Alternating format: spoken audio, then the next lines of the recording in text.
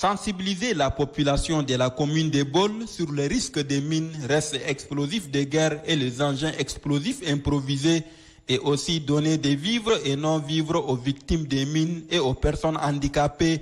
Telles sont entre autres les actions posées par le HCND, Haut Commissariat national au déminage en collaboration avec l'UNICEF. Le chef de mission du HCND, Omda Béchir Niam, a signifié qu'à travers cette assistance, l'institution veut alléger la souffrance des victimes des mines et des personnes en situation de handicap. Conscient du danger que représentent ces engins sur la vie de la population et leurs effets néfastes sur le développement socio-économique, il est donc nécessaire de sensibiliser la population afin qu'elle puisse adopter un comportement responsable, a affirmé le secrétaire général de la province du lac, Yaya Ousmane Adoum.